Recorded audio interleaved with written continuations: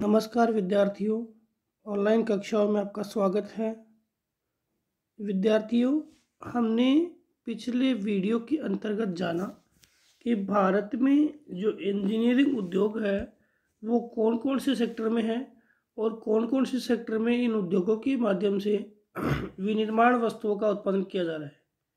देखिए, भारत में जो मशीन टूल्स है, उनका निर्माण भी भारत में मोटर गाड़ी जो है उनका निर्माण, भारत में साइकिल, सूती वस्त्र या अन्य वस्त्र बनाने की मशीनें, इसके अलावा रेल के इंजन और रेल के डिब्बे बनाने का और जलपोत बनाने का, वायुयान बनाने का, ये सभी कार्य जो है वो आपके किसके माध्यम से किया जाता है?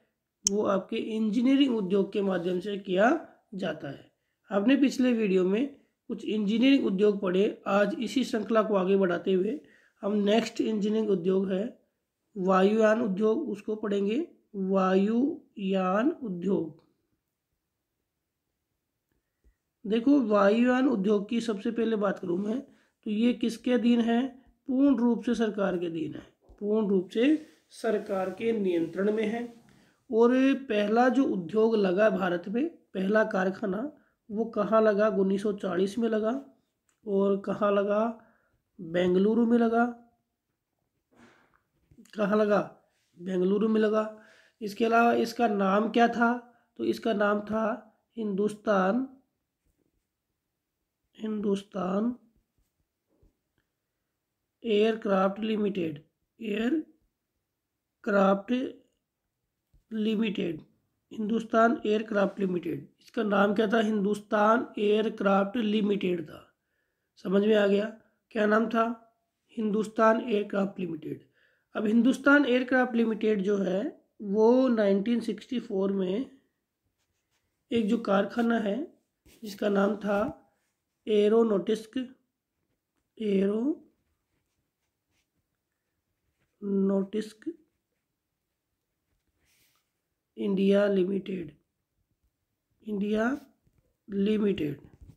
इस कारखाने के साथ ये मिल जाता है। एरोनोटिस्क इंडिया लिमिटेड के कारखाने के साथ ये है मिल जाता है और इसके साथ मिलकर के और जो वायुयान उद्योग निर्मित करता ही है कारखाना, इसका नाम रखा गया हिंदुस्तान हिंदुस्तान एरोनोटिस्क लिमिटेड। देखो, एक बार मैं रिपीट कर रहा हूँ। उन्नीस चालीस में जो है, बेंगलुरु में हिंदुस्तान एयरक्राफ्ट लिमिटेड की स्थापना हुई। पहला कारखाना 1940 में लगा। चौंसठ में एरोनोटिस्क इंडिया लिमिटेड जो कंपनी है, उसके साथ ये मिल जाता है। दोनों हिंदुस्तान एयरक्राफ्ट और एयरोनोटिक्स इंडिया लिमिटेड और क्या बन गया? हिंदुस्तान एरोनोटिक्स लिमिटेड का निर्माण होता है, short form Hindustan aeronautic limited. Bharat में यही कारखाना जो है, वो वायुयान उद्योगों का वायुयान जो है, उनका निर्माण करता है। यानी वायुयान उद्योग में ये कारखाना सबसे महत्वपूर्ण है। इस कारखाने की, देखें तो वर्तमान में छह प्रमुख इकाइयाँ हैं और ये इकाइयाँ कहाँ कहाँ हैं? तो यह इकाई आपके कोरापुट, उड़ीसा में है। ये इकाई आपके नासिक, महाराष्ट्र में है। ये इकाई आपके बेंगलुरु, कर्नाटक में है। ये इकाई आपके लखनऊ लखनऊ, यूपी में है। लखनऊ में कौन सी जगह है? कोरबा क्यों कोरबा की बात करें तो वो तो आपके आ जाता है कहाँ पर? छत्तीसगढ़ में, कोरबा। कोयले का क्षेत्र है, ये कोरबा है। और हैदराबाद हैदराबाद कहाँ है? हैदराबाद आपके हैं। आंध्र प्रदेश में, वैसे तेलंगाना में है, दोनों की राजधानी है। कानपुर कानपुर भी कहाँ है? उत्तर प्रदेश में। तो रिपीट करता हूँ छः छः छः जो संयंत्र लगे हैं, उनके नाम याद रखना। कोरापुट, उड़ीसा, बेंगलुरु, कर्नाटक, नासिक, महाराष्ट्र, लखनऊ, यूपी। यूपी, लखनऊ में कौन सा? कोरबा, हैदराबाद आंध्र प्रदेश और कानपुर, यूपी। ये आपके प्रमुख जो वायुयान उद्योग की इकाइयाँ हैं, जो किसकी है? हिंदुस्तान एयरोनॉटिक्स लिमिटेड की है। अब इसके द्वारा जो बने हुए पोत है, यानी जहाज़ है, वायुयान जिसे बोल सकते हैं, उनका उपयोग इंडियन एयरलाइंस करता है और आपकी वायुसेना करती है। वायुसेना और इंडियन एयरलाइंस का उपयोग करता है।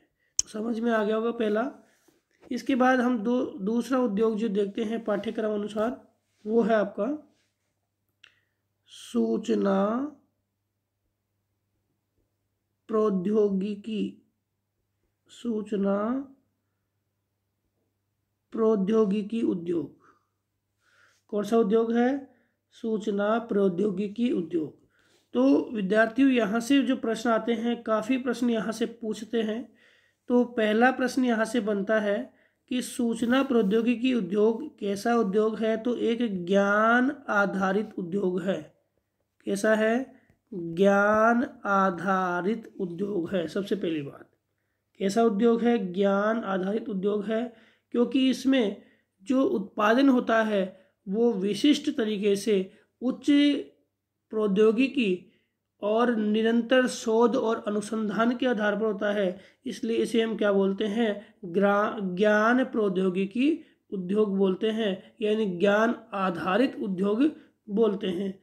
अब इस क्षेत्र में देखें तो सूचना प्रौद्योगिकी उद्योग ने भारत में एक नई क्रांति का संचार किया है। लोगों की जीवन शैली में बदलाव किया है, लोगों के आर्थिक ढांचे में इसने क्या किया है? बदलाव किया है। और वो कैसे किया है? क्योंकि इस उद्योग के दौरान बनने वाली वस्तुएँ हैं जिनकी मैं बात करूँ तो इसमें आपके टेलीविज़न है, आपके टेलीफोन है टेलीफोन है टेलीफोन है और रडार रडार जानते हो? जो आपके दिशा सूचक के रूप में काम करती है, जलपोतों के आगे लगती है, वायुयान के आगे लगती है। इसके अलावा आपके मोबाइल फ़ोन है, मोबाइल फ़ोन है। इसके अलावा आपके जैव प्रौद्योगिकी अंतरिक्ष उपकरण है, कंप्यूटर की सामग्रियाँ है। मतलब जितने भी ये आपके टेक्नो टेक्नोलॉजी जो इंस्ट्रूमेंट है, वो आपके किसके बने, किस उद्योग के दौरान निर्मित है वो सूचना प्रौद्योगिकी उद्योग के दौरान निर्मित है। तो इसमें इलेक्ट्रॉनिक के जितने भी उपकरण हैं, ठीक है, इलेक्ट्रॉनिक संचार के और कंप्यूटर के आधारित सभी उपकरणों का निर्माण कौन से उद्योग के लिए, उद्योग में किया जाता है? सूचना प्रौद्योगिकी उद्योग में किया जाता है, क्योंकि ये क्या है? ज्ञान आधारित उद्योग है। तो याद करना कि कौन से उपकरणों का निर्माण इस उद्योग में किया जाता है? सूचना प्रौद्योगिकी में। तो इलेक्ट्रॉनिक संचार और कंप्यूटर जैसे समस्त उत्पाद है, उनका निर्माण सूचना प्रौद्योगिकी उद्योग में किया जाता है। अब इसके बाद हम बात करें कि जो सूचना प्रौद्योगिकी है, उसके संदर्भ में एक शहर जिसका नाम मैं लूँ, बेंगलुरु। शहर का नाम क्या है? बेंगलुरु। कहाँ का है? कर्नाटक का भी बात की हमने।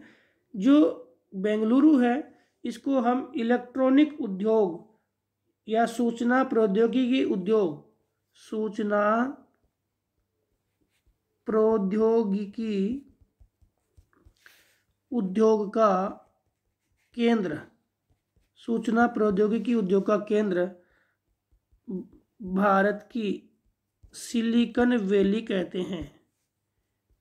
ये प्रश्न आपके बहुत ही मोस्ट इम्पोर्टेंट प्रश्न है कि बेंगलुरु है उसको हम सूचना प्रौद्योगिकी उद्योग का केंद्र कहते हैं और भारत की सिलिकन वैली भी कहते हैं।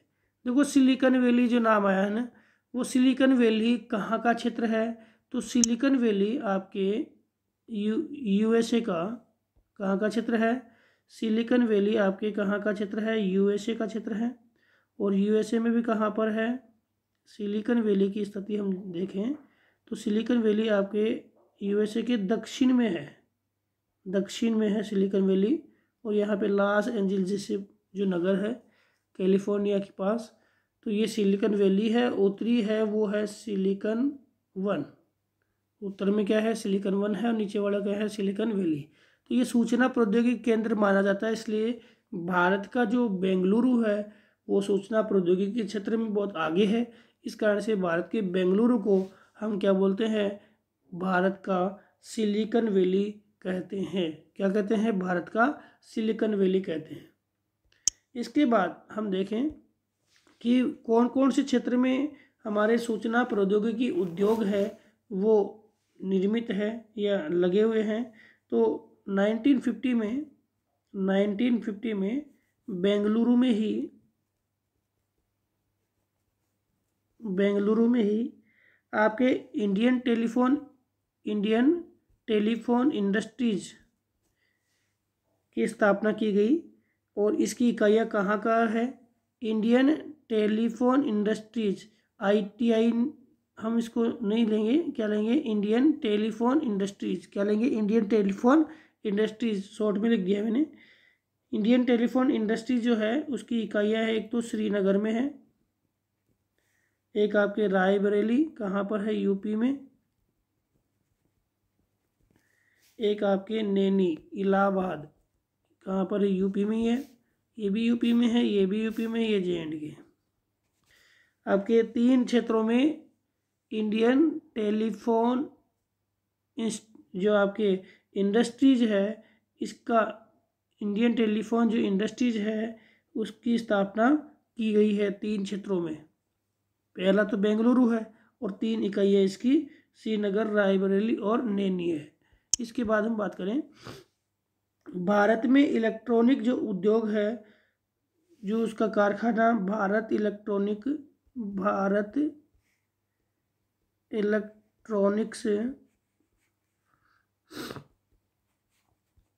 Limited का कारखाना कहाँ पर है, वो भी बेंगलुरु में है। इलेक्ट्रॉनिक्स लिमिटेड का कारखाना भी कहा है, बेंगलुरु में है और ये भारत इलेक्ट्रॉनिक्स लिमिटेड है। वो सेना के लिए, मौसम विभाग के लिए और आकाशवाणी से संबंधित इलेक्ट्रॉनिक उपकरणों का निर्माण करता है। और हिंदुस्तान केबल जो है, हिंदुस्तान केबल जो है हिंदुस्तान केबल क्या करती है? टेलीफोन के तार बनाती है। ये उद्योग आपके मुख्यतः भारत में है। इसके अलावा देखें कि जो आपका इलेक्ट्रॉनिक्स उद्योग है, उसको हम स्वच्छंद उद्योग कह सकते हैं। इलेक्ट्रॉनिक उद्योग को कौन सा उद्योग कह सकते हैं? स्वच्छंद उद्योग कह सकते हैं। देखो, स्वच्छंद उद्योग कौन सा होता है?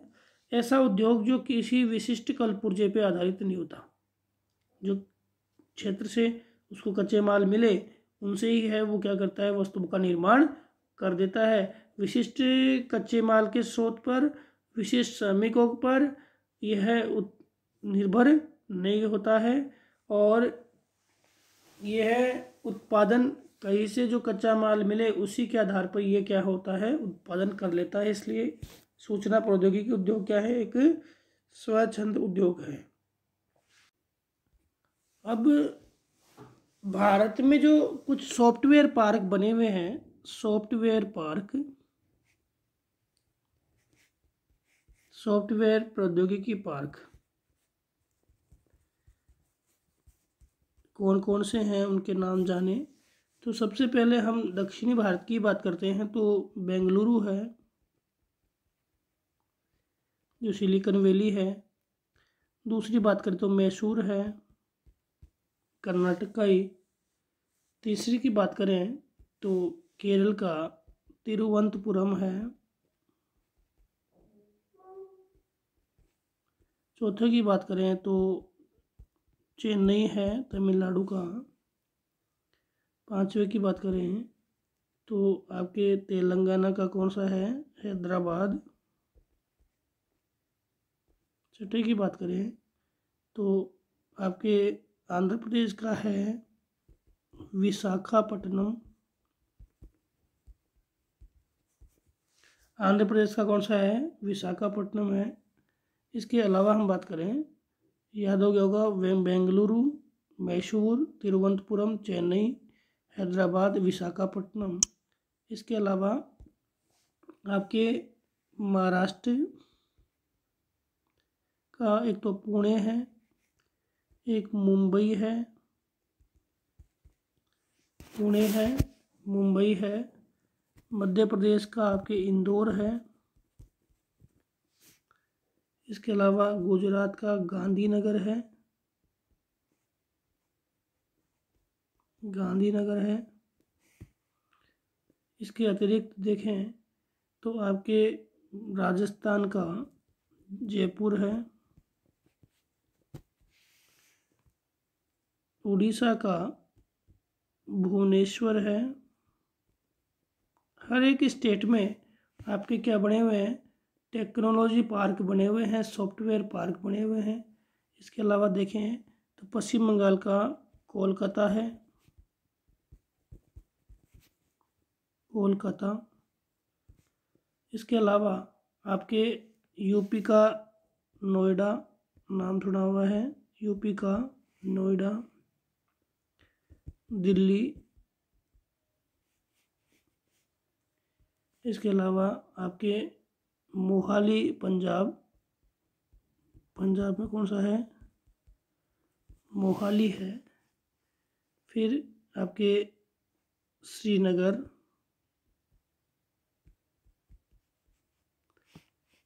और गुवाहाटी गुवाहाटी, असम। गुवाहाटी, असम। ये प्रमुख आपके टेक्नोलॉजिकल पार्क या सॉफ्टवेयर पार्क जिसे हम बोल सकते हैं। ये आपके भारत की प्रमुख सॉफ्टवेयर पार्क है जो क्या करते हैं? ये भारत के अंदर जो भी सूचना प्रौद्योगिकी आधारित उत्पाद है, उसका ये निर्माण करते हैं और भारत के आर्थिक विकास में लोगों की जीवन शैली में, लोगों के रोज़गार क्षेत्र में, इन सब उद्योगों का, इन सब टेक्नोलॉजिकल पार्कों का बड़ा ही योगदान है। विद्यार्थियों, हमने भारत में इंजीनियरिंग उद्योग के संदर्भ में पढ़ा, लेकिन वर्तमान स्थिति को देखते हुए भारत जो है, वो इंजीनियरिंग उद्योग में एक बड़ी शक्ति बनता जा रहा है, लेकिन फिर भी इंजीनियरिंग उद्योग के क्षेत्र में देखें तो काफ़ी समस्याएँ हमारे सामने हैं। तो आपके जो दो नंबर का या तीन नंबर का प्रश्न आपके आता है कि इस उद्योग की कौन कौन सी समस्याएँ हैं? उद्योग की समस्याएँ कौन कौन सी है इंजीनियरिंग उद्योग की? तो सबसे पहली समस्या आपके सामने आती है, कच्चे माल का अभाव है। क्या है? कच्चे माल का अभाव। देखो, इसमें कलपुर्जों के लिए जो एक विशिष्ट इस्पात चाहिए, विशिष्ट लोहा चाहिए, उस विशिष्ट लोहे की हमारे यहाँ क्या है? कमी है। और हमें वो क्या करना पड़ता है? आयात करना पड़ता है। तो वो हमारे लिए क्या है? उद्योगों के विकास में एक बाधा का कारण है। दूसरी बात कि हमारे यहाँ जो पूंजी का अभाव है और पूंजी के अभाव के कारण हमारे जो कारखाने या तो सार्वजनिक स्तर पे खुलते हैं। क्या होता है? या तो सार्वजनिक स्तर पे खुलते हैं या किसी प्रकार का विदेशी निवेश इसमें करना पड़ता है। ये भी एक क्या है, विकट समस्या है। तीसरी में बात करूँ कि जो भी हमारे निर्यात होता है या हमारे जो आयात होता है, उसमें क्या है, कर का भार ज़्यादा है, टैक्स ज़्यादा है हमारे। और टैक्स ज़्यादा है, वो भी हमारे लिए एक बड़ी समस्या है। इसके बाद बात करें कि और कौन कौन सी प्रॉब्लम्स है तो और प्रॉब्लम्स में आपके हमारा जो उद्योग है, ये कौन सा? सूचना प्रौद्योगिकी उद्योग। इसमें क्या है? विदेशी प्रतिस्पर्धा है, यानी बाहर की बहुत सारी कंपनियाँ हैं। वो इस क्षेत्र में क्या है? बहुत आगे पहुँच चुकी है और भारत इसके संदर्भ में क्या कर रहा है? प्रतिस्पर्धा कर रहा है। और हमारे यहाँ जो प्रोडक्शन है, इस प्रोडक्शन का प्रोडक्शन क्षमता है, उसका पूरा उपयोग नहीं होता। जो प्रोडक्शन की हमारी जो क्षमता है प्रौद्योग आपके उत्पादन की क्षमता है हमारे पास में उसका पूर्ण उपयोग नहीं हो रहा। मतलब हमारे पास में क्षमता है, उसके अकॉर्डिंग हम उत्पादन नहीं कर पा रहे। ये भी एक बड़ी समस्या है। और हमारे पास में टेक्नोलॉजी के अभाव में, हमारे पास में गुणवत्ता की भी क्या है, कमी है, जिसके आधार पे हम विदेशी प्रतिस्पर्धा में थोड़े पीछे हो जाते हैं। तो ये सारी समस्याएँ भारत में सूचना प्रौद्योगिकी उद्योग के बीच में हमें उद्योगों को विकास के बीच में क्या आती है और उद्योगों के विकास को प्राय अवरुद्ध करती है। तो एक बार मैं रिपीट करूँ, देखो एक तो कच्चे माल का भाव है, पूंजी का भाव जिससे निजी क्षेत्र के ज़्यादा से ज़्यादा उद्योगों का विकास नहीं कर पा रहे, हमें सार्वजनिक आधार पर उद्योगों का विकास करना पड़ रहा है। इसके अलावा कर का भार बहुत ज़्यादा है और विदेशी प्रतिस्पर्धा हमें करनी पड़ती है और विदेशी प्रतिस्पर्धा को, के अंदर हम पीछे क्यों रहे हैं? क्योंकि हमारी उत्पादन क्षमता है, उसके अकॉर्डिंग हम क्या नहीं कर रहे, उत्पादन नहीं कर रहे। दूसरी बात कि हमारे पास में टेक्नोलॉजी का विकास नहीं है और टेक्नोलॉजी के विकास के नहीं होने के कारण हम जो एक जो सबसे महत्वपूर्ण स्थान जो हमें मिलना चाहिए उस बाज़ार में, वो नहीं मिल पाता है और हम प्रतिस्पर्धा में पीछे रह जाते हैं। तो विद्यार्थियों, इसके बाद देखें कि इन समस्याओं को दूर करने के लिए भारत सरकार ने क्या प्रयास किया? तो भारत सरकार ने जो प्रयास किया उन प्रयासों के अंतर्गत देखें तो भारत सरकार ने कुछ ऐसे योजनाएँ, ऐसे कार्यक्रम चलाए जो इन उद्योगों के विकास के लिए काम करें। तो भारत जो है, वर्तमान स्थिति में बताऊँ तो भारत पहले काफ़ी मात्रा में विनिर्मित उत्पादों का आयात करता था। क्या करता था? आयात। और वर्तमान हम ट्रेड की बात करें तो भारत है, America, China, Britain Britain,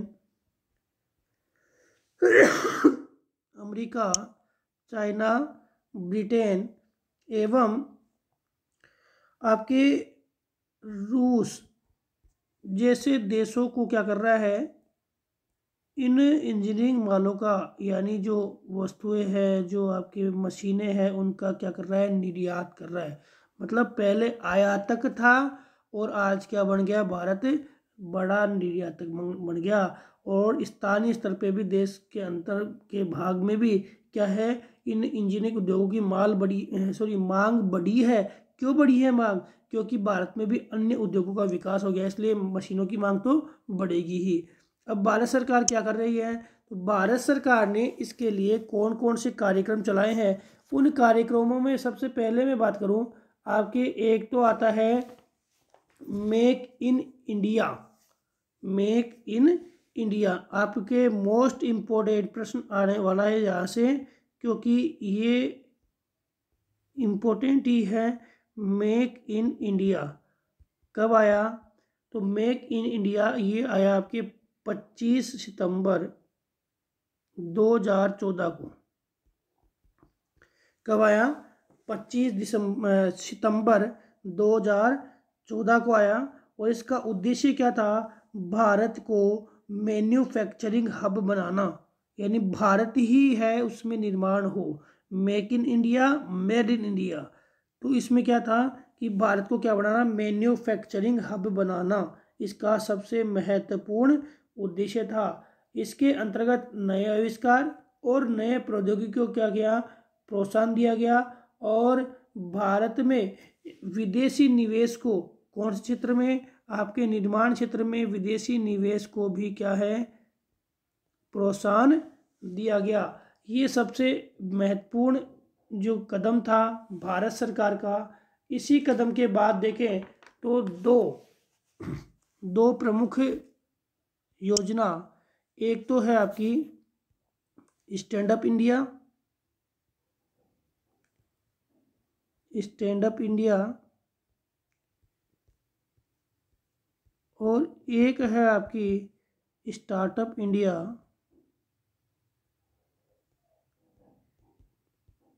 एक तो है आपकी स्टैंड अप इंडिया एक आपकी है Start Startup India Stand Up India ये है जो स्कीम है, वो आपकी पंद्रह अगस्त दो हज़ार पंद्रह को आई। पंद्रह अगस्त दो हज़ार पंद्रह को आई। और यह स्कीम जो है, इसकी घोषणा तो पंद्रह अगस्त 2015 को हो गई और ये स्कीम पाँच अप्रैल 2016 को लागू लागू हुई। कौन सी? Stand Up India, Stand Up India. Scheme क्या है? इस स्कीम में देखें तो इसकी शुरुआत आपके कहाँ से हुई थी? नोएडा, उत्तर प्रदेश से हुई थी। नोएडा, यूपी से हुई थी। और इस स्कीम में देखें तो बैंक जो है, अनुसूचित जाति, अनुसूचित जनजाति के जो लोग हैं, उनको और जो महिला उद्यमी है, उनको दस लाख से एक करोड़ रुपए तक की राशि उपलब्ध कराएँगे ऋण राशि। एक तो पहली स्कीम तो ये थी। दूसरी स्कीम क्या थी कि जो स्टैंड अप योजना है उसमें उधारकर्ताओं को जो ऋण दिया जाता है, ये ऋण कौन से बैंक से दिया जाएगा? ये दिया जाएगा सिडबी सिडबी बैंक से ऋण दिया जाएगा। सिडबी का मतलब है भारतीय लघु उद्योग विकास बैंक। भारतीय लघु उद्योग विकास बैंक से इसको क्या मिलेगा? ऋण मिलेगा। और दूसरी बात, इस ऋण को सात वर्षों तक मतलब चुकाने की अवधि है वो कितनी? सात वर्षों तक रखी जाए।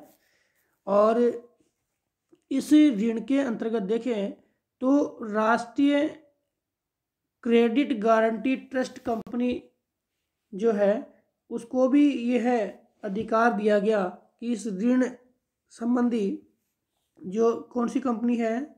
National Credit Guarantee Credit Guarantee Company, जो ट्रस्ट कंपनी है, ये क्या करेगी? इस ऋण के संचालन के लिए एक एजेंसी के रूप में स्थापित की गई और यह लोगों के लिए जो रोज़गार, सॉरी, उद्योग की स्थापना करना चाह रहे हैं, उनके लिए ऋण के लिए यह कंपनी भी क्या कर रही है? काम कर रही है। अब जो दूसरी है, ये तो समझ में आ गया होगा, स्टैंड अप इंडिया पंद्रह अगस्त 2015 को, ठीक है? पाँच अप्रैल 2016 को क्या हो गया? यह शुभारंभ हो गया इसका। कहाँ से हुआ? नोएडा, उत्तर प्रदेश से हुआ। कौन से बैंक को ऋण लेने की बात, ऋण देने की बात की? सिडबी और कौन सी एजेंसी को? क्रेडिट गारंटी ट्रस्ट कंपनी को। क्या है? ऋण योजना के लिए एक एजेंसी बनाया गया। तो एजेंसी किसको बनाया गया? नेशनल क्रेडिट गारंटी ट्रस्ट को एजेंसी बनाया गया। ऋण चुकाने की अधिकतम अवधि सात वर्ष मानी मानी गई। और दस लाख से एक करोड़ रुपए तक का ऋण राशि देने की बात की गई एस सी और महिला उद्यमियों को। इसके बाद देखें तो आपके Startup India Startup India योजना कब आई सोलह जनवरी 2016 को प्रधानमंत्री जी ने स्टार्टअप इंडिया का एक्शन प्लान दिया। और इसका उद्देश्य था लोगों को क्या देना? वित्तीय मदद देना और जो ऋण दे रहे हैं, उनमें भी क्या देना? रियायतें देना। इसका क्या था? उद्देश्य था। ये जो स्टार्टअप इंडिया था, इसके द्वारा ये निश्चित किया गया कि लोगों को जब उद्योगों के विकास करने के लिए हम वित्तीय मदद और रियायतें देंगे तो उद्योगों का विकास होगा और यह उद्योग है, वो क्या करेंगे? काफ़ी मात्रा में लोगों को रोज़गार देंगे। साथ ही साथ ये उद्योग है, काफ़ी मात्रा में विनिर्मित वस्तुओं का निर्माण भी करेंगे। इसलिए इस वित्तीय मदद के लिए स्टार्टअप कोष का निर्माण किया गया। स्टार्ट अप कोष, जो वित्तीय मदद प्रदान कर रहा है, स्टार्टअप कोष का निर्माण किया गया। जो वित्तीय स्टार्टअप कोष था, इसमें जो आरंभ में पच्चीस हज़ार करोड़ रुपए का जो था बजट था, बाद में दस हज़ार करोड़ रुपए की जो राशि है, उसके साथ चार वर्षों के लिए इस कोष को क्या कर दिया और निर्मित कर दिया गया। पहले स्टार्टिंग जो वित्तीय प्रोत्साहन था वो पच्चीस सौ करोड़ रुपए का था। इसके बाद दस हज़ार करोड़ रुपए की राशि और मिलाएगी और चार वर्षों के लिए स्टार्टअप कोष का निर्माण कर दिया गया। और स्टार्टअप कोर्स क्या कर रहा है? ये है लोगों को वित्तीय मदद दे रहा है। और ये दोनों ही आपके, एक तो Stand Up India Startup India और मेक इन इंडिया ये आपकी तीनों महत्वाकांक्षी योजनाएँ हैं। ये तीनों महत्वाकांक्षी योजनाएँ भारत में उद्योगों के विकास के लिए काम कर रही है।